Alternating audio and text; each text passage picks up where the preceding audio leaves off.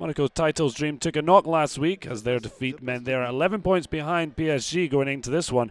For the visitors, they plundered 7 points in the last three outings, but missing Zambian pair Stoppila Sunzu and Nathan Sinkala from international duty.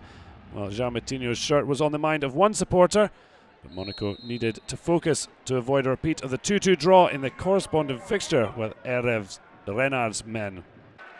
And they were certainly there from the off, and six minutes in it paid off. Layvin Kurzawa and James Rodriguez combining to put it on a plate for Dimitar Berbatov. Excellent play down the left. The Bulgarian onside to celebrate his first start since arriving in January from Fulham with his first Ligue 1 goal. The captain Eric Abidal watched from the stands after his health scare. He could be back next week.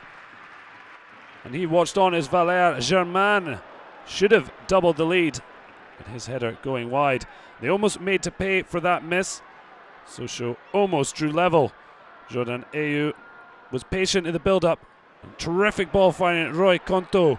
But his shot coming off the post. And when Ayew's mishit shot found him again. Contout, 29-year-old, firing wide. Onside. But Contout still not a goal since October. So 1 0 at the break. Not complete satisfaction for Monaco or their coach Claudio Ranieri. Looking for more from his side. But 10 minutes into the second half, they were given the perfect opportunity to double their lead. Julien Faussurier booked for this challenge on Berbatov. It was James Rodriguez versus Yohann Pele.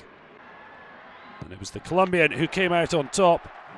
Well, Rodriguez scored in his country's draw with Tunisia in the international break, here adding his sixth of the Ligue 1 campaign. Well, Abidal's replacement almost made the point safe, but Nicolas Isamat Miran could only hit the post. Well, Renard's Sochaux never gave in, and the former Zambian coach threw on Edouard Butin for the seventh time this season. And eight minutes later, the 25 year old half the deficit. Well, joy for the relegation strugglers. Got caught underneath his feet. Able to beat Danijel Subasic. Well, sadly, that goal, though, was as good as it got for Sochaux. Ayew's night ending prematurely six minutes before the end. Red card for kicking out at Andrea Raggi. Poor from the Marseille loanee. No complaints. Lucas Ocampos could have made it three, but the ball not falling kindly. As Yohann Pele and his defender got lucky. Well, Monaco threw away a two goal lead to Sochaux back in Renard's first game in charge in October, but held on to close the gap to eight from Paris Saint Germain, also show the same points from safety.